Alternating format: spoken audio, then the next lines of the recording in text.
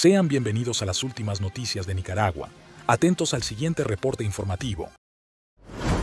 Durante un extenso periodo, Daniel Ortega ha utilizado el pretexto de las acciones de Estados Unidos como escudo para encubrir su propia ineficiencia en la gobernabilidad de Nicaragua.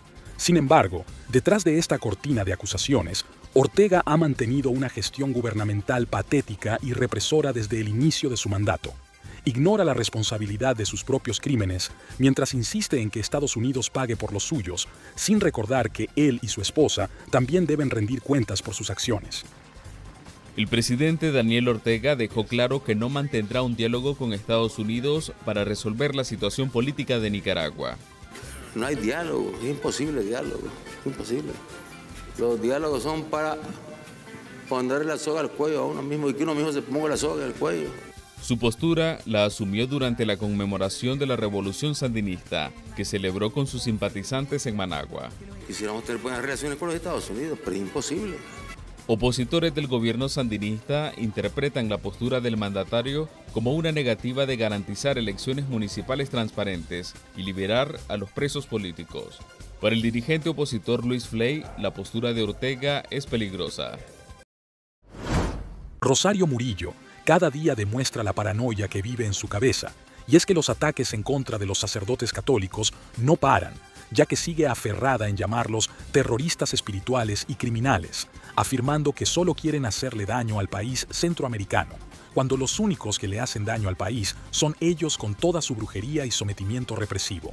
Rosario Murillo continuó sus ataques contra la Iglesia Católica ese miércoles acusando a los sacerdotes nicaragüenses de ser malvados, terroristas espirituales y de hacer daño a un pueblo que no les ha hecho daño. Las acusaciones de Murillo son parte de una campaña de acoso y persecución a la Iglesia Católica, que en los últimos días mantiene privados de su libertad a dos obispos, trece sacerdotes y tres seminaristas. Estoy plenamente segura de que Dios no dispone malvados, mucho menos para pretender dar clase de moral o de cívica, como aprendimos cuando éramos niños, moral y cívica.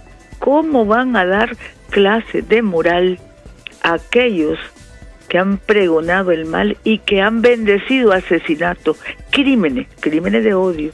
No pueden dar clases de moral. Sí, todos somos hijos de Dios y todos decidimos.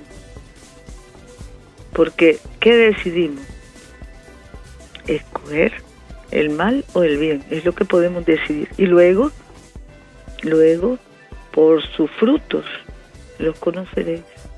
Los frutos en nuestro país son abundantes y por eso sabemos, conocemos, afirmamos que vivimos de la mano de Dios. La hipocresía de la criminal Rosario Murillo va más allá de los límites al presentarse como cristiana y defensora de la paz para el pueblo nicaragüense, mientras persiste en prácticas represivas y muestra desprecio por la diversidad religiosa.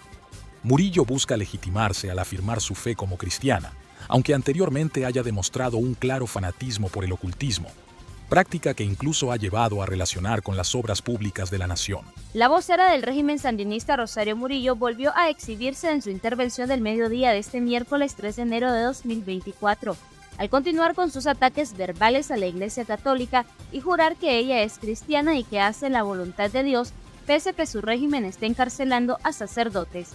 Cuando recibimos la devolución, es decir, los frutos de lo que sembramos, no debemos extrañarnos. El odio, la crueldad, la mala voluntad también se paga. Y bueno, Dios tendrá su forma. Murillo, que en junio cumplirá 73 años, dijo que ella está sometida a los designios de Dios. La vocera también aseguró que ella avanza porque está bendecida y guiada por la mano del Omnipotente, que es el único que puede decidir. Siempre hemos vivido, pensado y vivido de acuerdo a la voluntad de Dios, como no sabemos si llegamos vivos a la tarde o a la noche. Suscríbete a Nicaragua Hoy TV Para que no te pierdas las últimas noticias más importantes, déjanos tu opinión en la caja de comentarios y activa la campana de notificaciones. Nos vemos en el próximo reporte.